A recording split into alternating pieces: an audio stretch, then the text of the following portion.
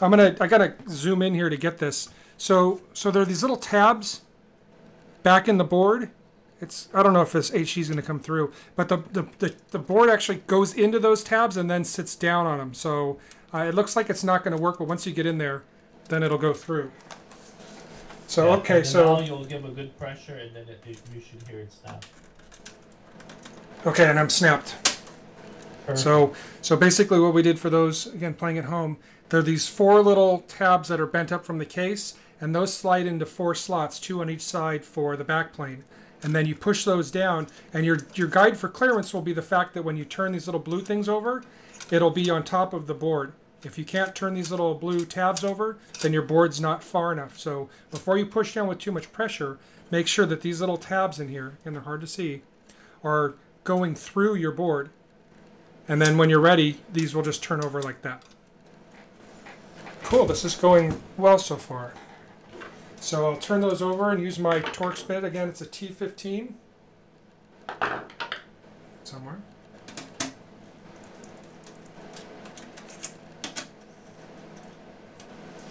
Okay, Yeah, that's it. So now uh, you'll want to connect. You can connect the fans and then that uh, the other cable for the front lights.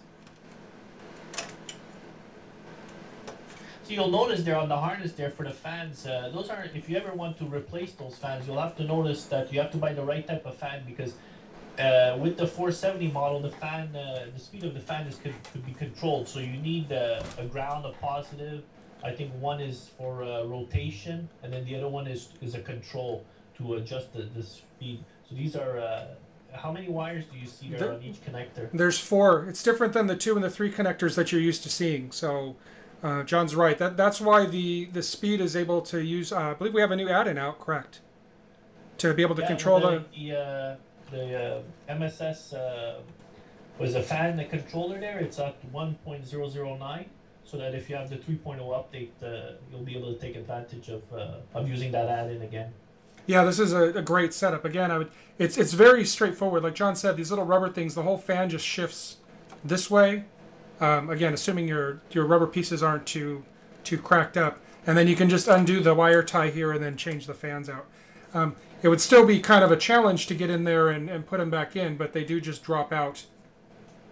And these are just basically um, 0.23 amp fans. I mean, they're just basic fans, correct? Well, that's it. They they're uh, they're the fans with the, that special function where you can adjust the speed. So if you're going to the store and you're buying a, a, a you know I think they're 40 millimeter fans. If you're buying one like that, you have to make sure you have one with the with the four uh, the four control pins. Yeah, these are um, made in Taiwan by AVC company, so they're just standard cheap fans. So uh, I want to make sure I don't forget to plug in my remaining connector. That's going to change the the light patterns on the front, control those, and then I pop it back into its clip. So now I've got all the wiring back done. Everything's looking good so far, except my case is still a little naked. So uh, John will walk me through the remaining pieces of how to put everything back together and put the drives in. Yeah, so that's it. You can put the back uh, plate first. Because that goes from the top down, so you want to put that before you put the uh, the top part. Okay.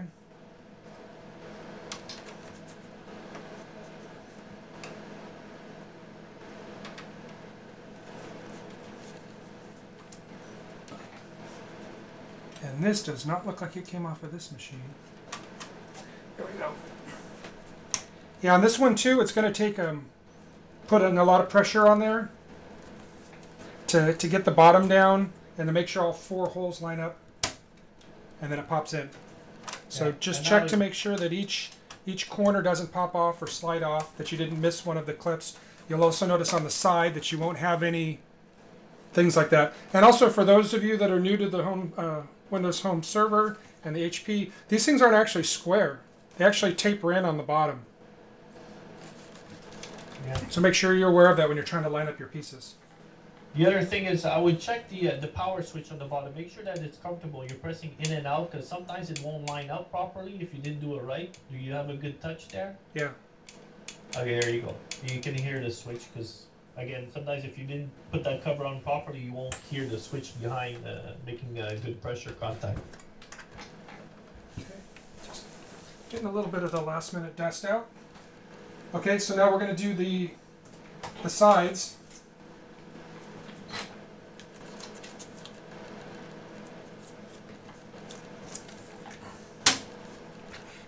And then this is the same thing, correct? It just slides. Yeah, you'll line it up and then you'll uh, add pressure to the side of the case and then you'll pull it forward. Oh, they clip in much easier than they come out. So how many times have you had your case taken apart on your 470? Uh, too many to count, at least 10, 15 times.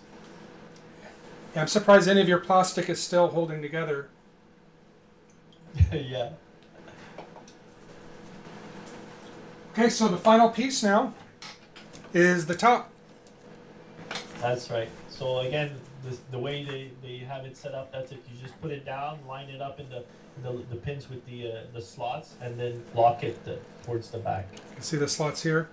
Um, there are slots also on the top that you can see here, here, here, and here. You'll also notice that quick way to be able to tell if someone has a server in their house is the, the 470 has the silver top, whereas the 485s and above have the black glossy top.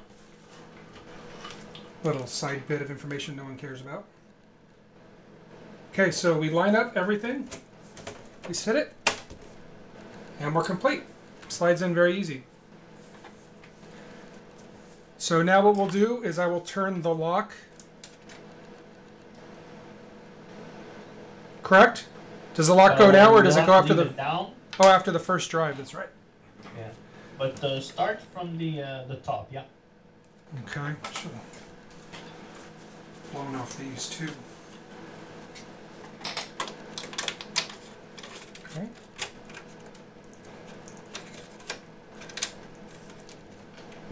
Okay, again holding from the back. Slide this back a little.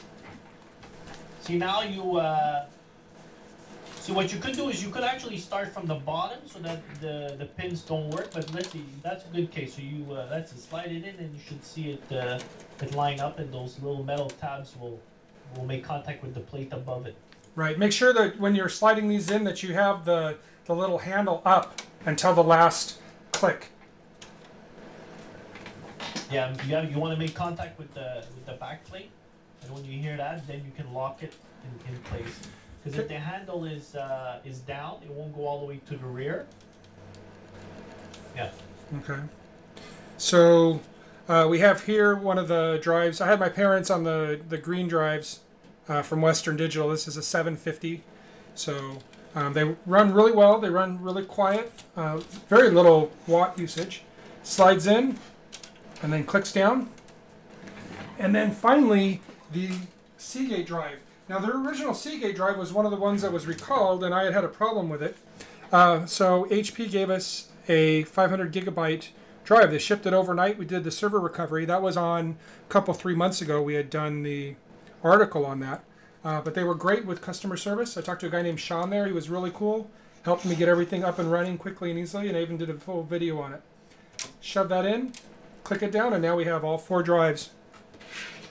The lock now clicks like that. That lock actually prevents you from pushing down this button. Uh, you'll notice that these are black on other ones that they're purple, but this move to the lock position prevents you from pulling out that lower drive. So I believe we're all done, correct? Do we have anything else we need to to check before we start it up? That's it. Looks good.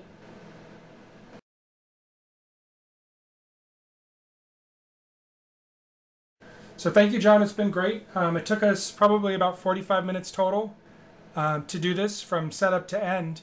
Uh, we've actually only got about 35 minutes on tape, so uh, we did a pretty good job. Okay, well, thank you. Um, look forward to hearing you uh, next week on the show, and uh, hopefully I can find something else to to break so you and I can talk about it and and do another video. Thank you again. Sure. Anytime, Tim. Thanks for having me.